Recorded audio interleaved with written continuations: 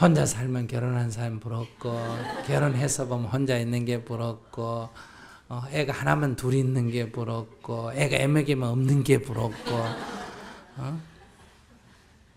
또 부모가 없으면 또 가끔 부모 있는 집에 가보면 한 집에서 부모님이 계셔가지고 집도 봐주고 애 손자도 봐주고 이렇게 뭐 살림도 좀 맡아 살아주니까 친구가 이래 직장도 마음대로 다니고 이런 거 보면 또 부러워요 안 부러워요?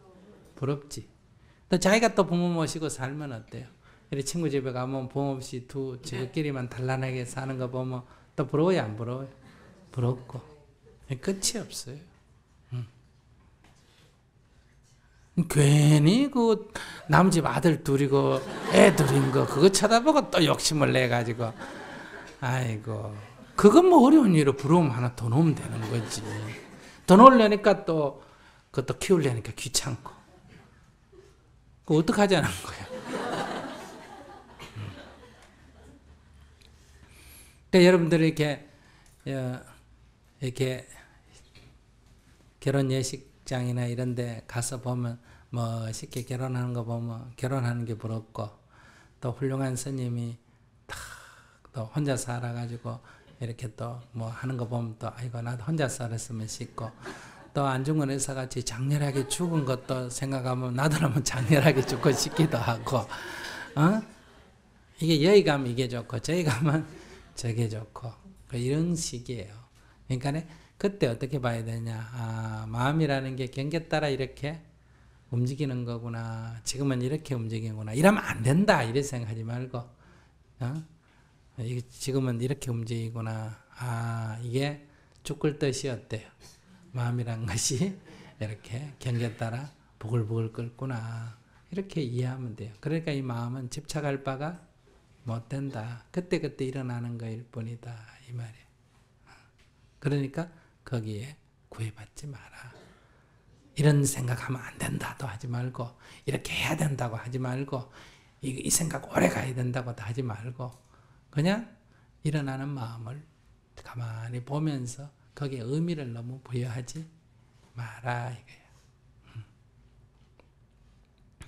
근데 우리는 그 거품처럼 일어나는 그 마음을 잡고 움켜쥐고 그 거품이 꺼지니까 또 죽는다고 난리를 피우고 이런다.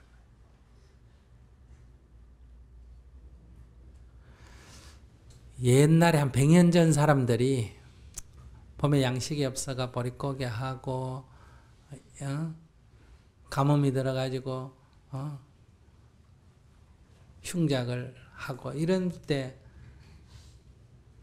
한 100년 전에 우리 조상들이 태어나가 요새 여러분들 사는 거 보면 세상이 좋아 보일까 안 좋아 보일까? 좋아 보이겠죠. 음, 그러니까 여러분들이 경제적으로는 물질적으로는 아무리 가난해도 못 살겠다는 소리 하면 안 돼요. 아무 문제가 없습니다.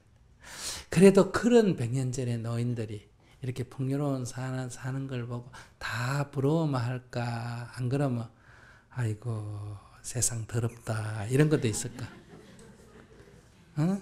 세상 말세다. 요즘 세상 보고 그때 사람들 와서 좋아만 할까? 말세라는 것도 있을까? 말세라는 것도 있어. 좀 마음에 안 든다고 부부가 헤어지고, 어? 예를 든다면, 재물을 밝혀가지고 사기치고, 어? 살아 올라가려고, 어? 험담하고, 이런 거 보면 말세라 그럴까? 말세라 안 그럴까? 말세라 그래요. 아무리 물질이 풍요로워도 그 사람들이 볼 때는, 아, 이게 세상 곧 망하겠구나. 이렇게 생각한다. 그러니까 100년 전 사람이 우리를 보고, 우리 보고, 아, 무슨 걱정 있겠노 하는 요소가 있는데, 우리는 오히려 그 물질을 갖고 지금 죽는다 산다 하고, 100년 전 사람들이 다시 와서 우리를 보고, 이게 세상 말세구나 라고 말하는 걸 가지고, 우리는 그걸 너무 좋은 거라고 생각한다.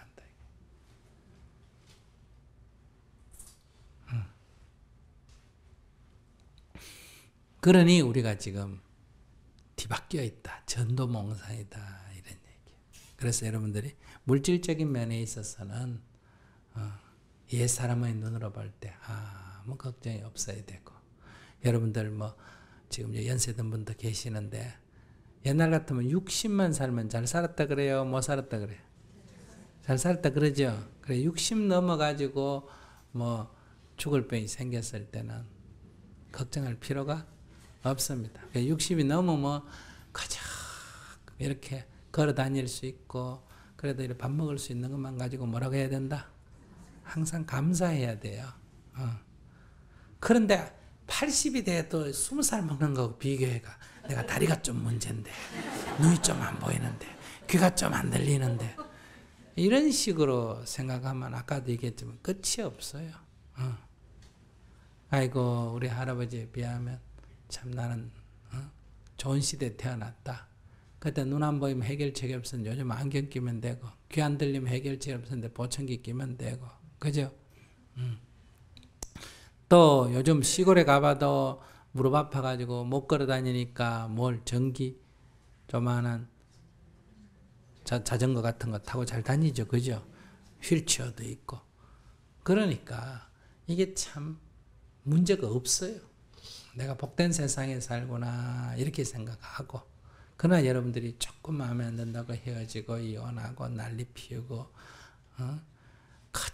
뭐 향수 그거 하나에 막 몇십만 원씩 주고 사고 어? 매니큐어 바르는데 돈 쓰고 이러면 옛날 사람 볼 때는 미쳤구나 아이고 미쳤구나 이럴 거 아니에요 그러니까 뭐 그렇다고 미친 건 아니지만은 우리가 얼마나 쓸데없는데 신경을 많이 쓰고 있느냐 별 거 아닌 거 가지고 그런 거에 대해서는 좀 돌이켜야 된다. 옛날에는 일곱 여덟 낳아가지고도 어? 잘 키웠는데 그 어려운 살림에도 근데 뭐 하나 둘 낳아놓고도 죽는다고 아우성을 치고 어? 물어보면 뭐 밥 해야지 설거지 해야지 그냥 내가 가서 뭐 밥은 지가 안 하고 밥통에 하고 설거지도 뭐 다 세탁도 다 세탁기가 하고 그런데 막 아글아글 쓰고 이러잖아요. 그러니 그걸 비교해 보면 앞으로 여기서 어? 딱 방에 들어간 버릇 불이 자동으로 켜지고 어? 세탁기 생각만 딱 해도 세탁기가 알아서 굴러가고 이래도 불평이 있을까 없을까? 있어요. 그때 가도 또 그건 또 그거 마차가 또 불평이 그래서 끝이 안 난다. 그래서 우리의 행복은 이런 물질적인 문제로서 끝이 안 납니다. 어. 그러니 좀 생각을 여러분들이 바꾸셔서 이 시대에 뭐 그렇다고 원시로 살아라는 게 아니라 항상 우리가 어떤 상황에서든 지금 여기에서 내가 자유롭고 행복한 즉 나에게 주어진 조건을 긍정적으로 봐야 된다. 이렇게 헤어졌으면 아까 얘기하는 요점은 이거예요. 이미 헤어졌어요, 안 헤어졌어요? 그리고 상대가 이미 결혼했다고 얘기했잖아, 그죠? 신고식을 했든 안 했든. 어. 근데 거기 가서 물론 뭐 결혼해가 애 낳고 사는 것도 뭐 뺏어가 살 수도 있어요. 그럼 그렇게 해보는 건 뭐 괜찮아, 한번 해보든지. 그럼 좀 피곤하죠. 어. 근데 그렇게 하는 거는 지금 내가 너 없으면 못 사니까 뭐딴 딴 남자가 여자가 있더라도 안 돼. 어? 애가 있더라도 안 돼. 뭐난 너하고 살 거야. 이러면 해보세요. 근데 그 사람이 뭐 나를 버리고 나를 놔놓고 딴 여자를 사귀고 이런 거는 아니다. 이런 얘기예요. 내가 좋으면 뭐 그를 괴롭혀서라도 납치를 해서라도 어때요? 내가 가져야 되겠다. 이럴 때는 사랑은 아니에요. 내 욕심을 채워야 되겠다.